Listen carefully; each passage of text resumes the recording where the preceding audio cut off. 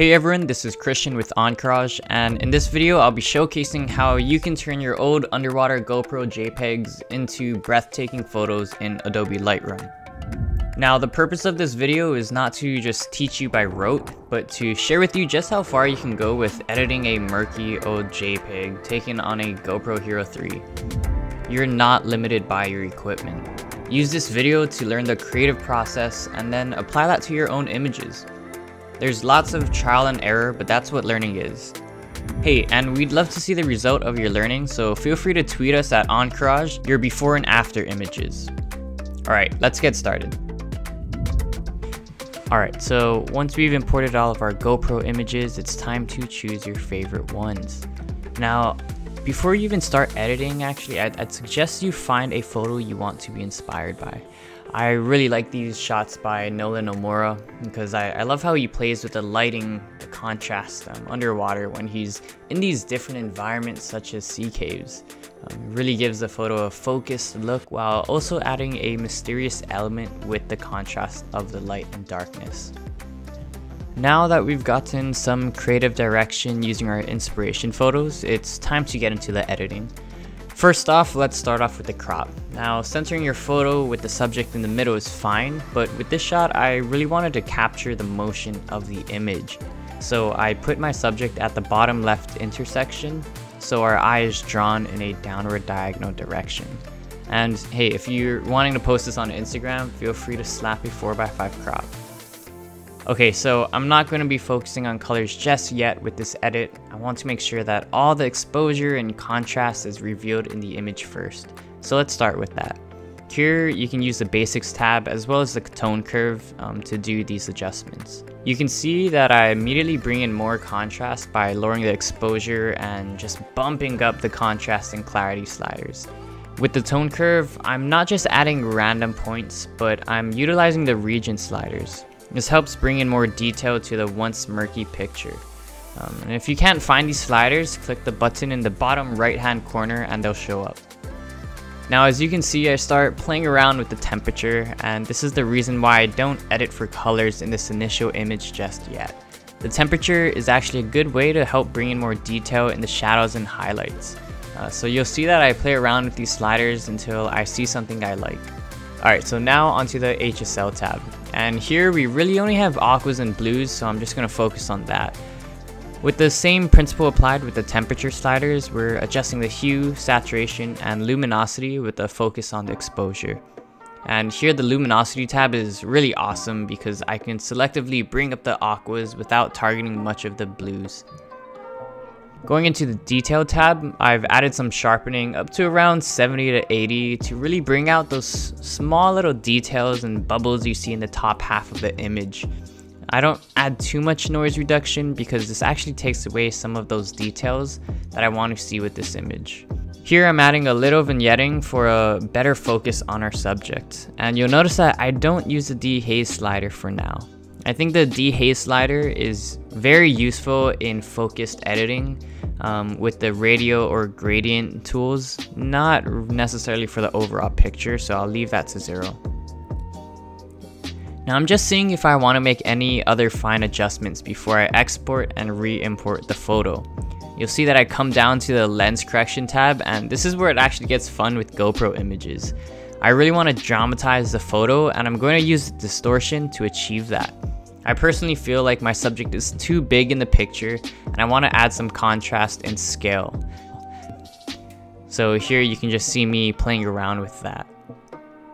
Alright, now to the gradient tool. Now, my creative direction is to really emphasize the light coming from the top right corner. So I'm going to give this photo a partial vignetting on all corners except for the top right.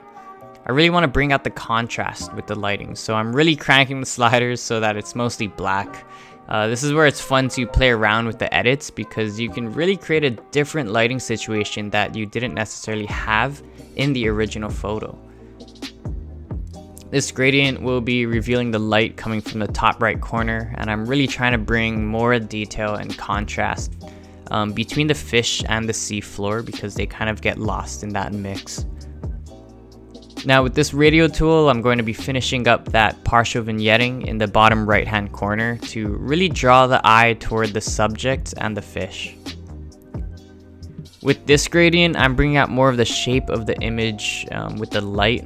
Usually I'll just crank out the sliders on both ends until I find a nice medium. And this is where the trial and error part just comes into practice and trusting what you feel is right. With this gradient, I'm helping to curve the partial vignetting more and more um, and just round that off in the bottom left hand corner. Alright, so we've gotten the main lighting adjustments down.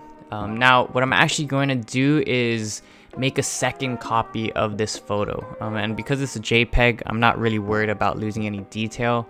Um, so what I'm going to do is right click and select edit in Photoshop and then when it opens up into Photoshop, save that image so we get a second JPEG to edit in Lightroom.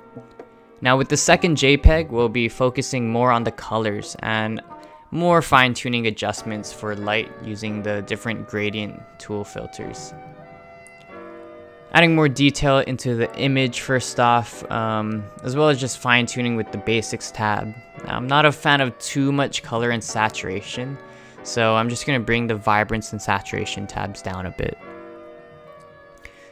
Here I get another radial tool and now I'm just adjusting for color. Uh, I want to have a sort of clean silver blue to the top right corner. So here's some of the adjustments that I do.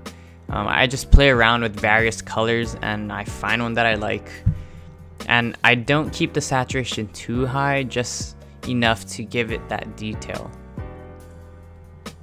Now I'm going to go into the brush tool to add in the skin color on my subject. Um, and while you're coloring, just press O to bring up where your brush edit is. Um, this is much easier and you can see that it's highlighted in red. And make sure you zoom in to um, really clean up your edit so it's nice and crisp. And first off, I'm just going to desaturate the blues all the way. Um, and you can see the skin color is appearing more natural. At least it's not um, super blue. Um, and now I'm gonna add some color with the color tab to get it to a nice natural skin tone.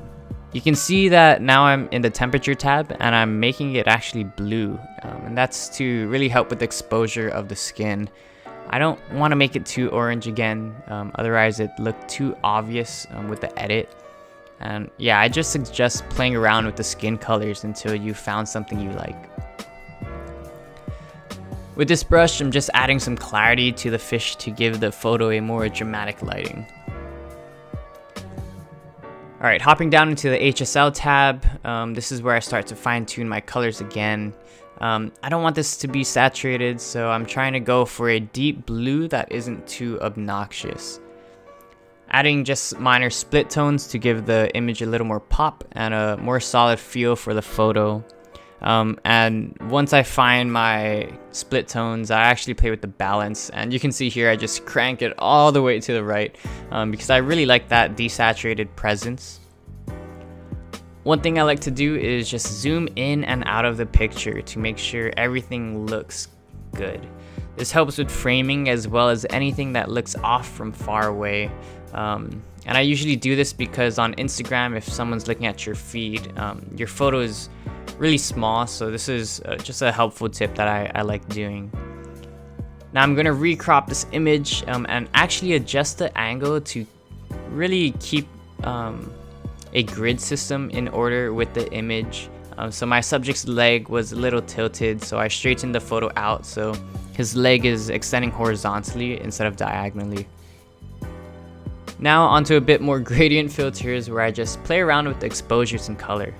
Still trying to find that desaturated presence in the top right corner, um, so you can see me playing around with something until I find something I like. Now onto some dodge and burning. Um, this is to give the photo a bit more contrast between the lights and dark. You can see I'm slightly bumping up the exposure for these rocks around my subject to give it a little bit more oomph and contrast. And I see that the top right corner is a bit unclear. So here I'm actually making the shadows more prominent within the image.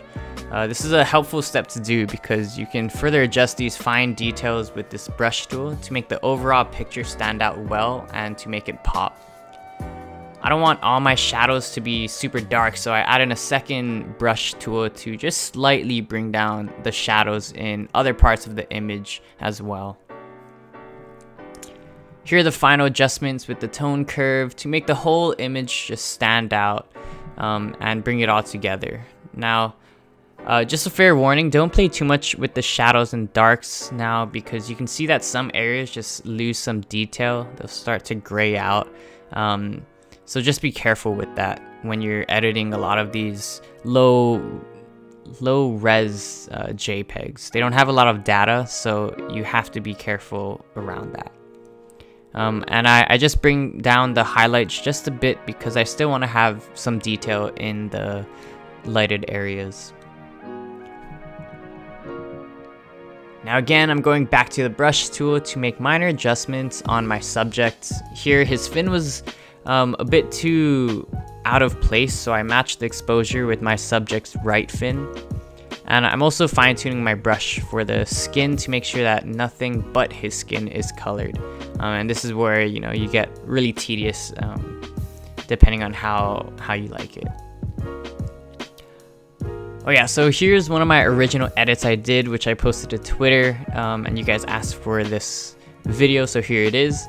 Um, but it's cool because you can see that the style changed a lot. Um, and I think that's really the beauty about editing and re-editing a picture. You know, there, there's so many styles you can choose from. So just find what you like through practicing on the same photo. Now I'm just making sure that the color of his swim shorts are the same color. Um, sometimes my friends have like red or, or, green swim shorts and I like to um, be authentic with those colors. Um, but thankfully, these swim shorts were just blue. Um, and now I'm just looking for any more fine tuning opportunities. Here, I re emphasize that partial vignetting shape um, by just rounding out the curve of the shadows. Alright, so here's the original image.